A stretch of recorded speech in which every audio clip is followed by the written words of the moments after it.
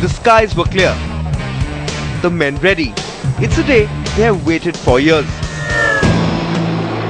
Almost a decade after the multi-role light combat aircraft Tejas first took to the skies, India's homegrown LCA was given the initial operation clearance, clearing the way for its induction into the Indian Air Force. Monday's flight launches India into an exclusive club of nations that include the US, Russia, France and Britain that can produce combat aircraft. The IAF has ordered 40 machines that will be delivered in the next two years and will replace the aging MiGs. Tejas taking wing is actually a dream come true for all of us. We've been dreaming about it for the last 25, 30 years. The project has come a long way since air staff requirements were issued in 1985. The lightweight Tejas, presently powered by American General Electric engine, has been developed from scratch.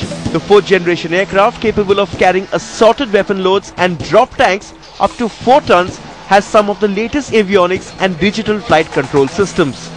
The LCA, though many say, is still not 100% ready. And the IAF, which has long waited for this, believes many more tests need to be done before it can be a truly cutting-edge machine. Point that there are some areas where work still needs to be done, like it is the case in all development aircraft, and aspects that need to be improved before the aircraft is inducted into the Indian Air Force. The project, which has taken 27 long years to reach this stage, has been bogged down by technology denials, leading to financial constraints and cost escalations.